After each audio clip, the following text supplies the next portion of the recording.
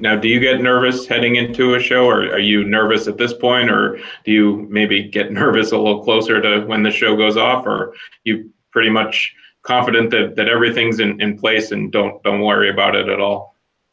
So I don't I don't want to say I, I, get nervous. I'm always very excited. You know, this is one of the areas that I'm extremely passionate about. Been doing this now for three nearly three decades. Um, it is very exciting. I always say it's like you you plan every year for a wedding and then it takes place and then you know you get to do it all over again uh, the next year and so um, just planning all of the intricate details. And what's most important to me and what really excites me is to make sure that our trade shows are relevant and that they align to the business needs of our customers. Um, and so, uh, with that in mind, is that it's extremely important to me that InfoComm remains relevant to the audience that's participating as exhibitors at our show, but also to the attendees that are coming.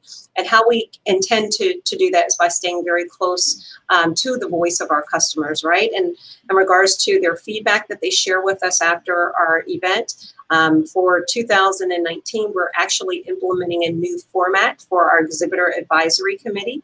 Um, we're going to be launching an attendee advisory committee as well um, so that we create these forums where both exhibitors and attendees can share uh, directly with AVIXA um, and then allowing us the opportunity to implement um, these ideas into our program on an annual basis.